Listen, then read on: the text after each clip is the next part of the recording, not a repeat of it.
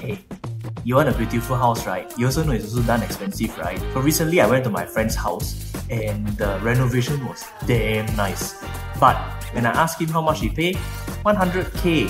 You know what you can get for 100k or not? It's 15,000 Ya Kun Kaya Toast set, 11,000 McSpicy meals, 25 trips to Japan. This means that we need to start saving now if you want to have a nice renovation. If you start saving now, we will have the ability to show off our nice house to our friends or even simply impress our in-laws. All the while still being able to afford Ya Kun Kaya Toast set, McSpicy, or even trips to Japan, Korea, or wherever you want to go. So if you're a young home owner, right, what can you do right now at the start of your career? With Hugosave ETF portfolios, you can invest at your own pace with however much you have, and then you just build up from there. So no need to rush. Every dollar you invest today is one step towards a nice home.